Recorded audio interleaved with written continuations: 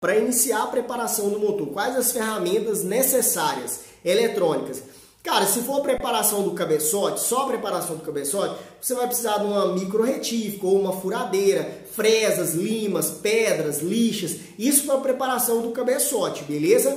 Você consegue fazer preparação das válvulas, preparação do cabeçote em si. Agora, quando a gente fala assim, ah, eu quero uma coisa a mais, vou fazer retífica, vou fazer plana, aí você já precisa de um torno, é, uma brunidora, certo? Já precisa talvez de uma sorveteira, beleza? São detalhes aí, então depende muito. Agora, se é mais para preparação em si, cavas no pistão, uma furadeira de bancada, já tendo uma furadeira de bancada, uma furadeira de mão, uma micro retífica, fresas, limas, algumas ferramentas especiais como bailarina, é, ferramenta para fazer squish e algumas ferramentas para fazer cavas no pistão, ou você faz com a, com a própria válvula ali, você já faz assim, muita preparação sem precisar. Aí você vai depender só, um exemplo, de acertar a taxa, planar, rebaixar ali no, no cilindro, no cabeçote, tirar na cabeça do pistão. Às vezes até algumas ferramentas especiais, com a furadeira de bancada, você consegue tirar na cabeça do pistão. Então, algum, algumas coisas você vai ter que terceirizar, outras não. Então, com ferramentas simples, você já consegue fazer muito, mas muitas preparações, beleza?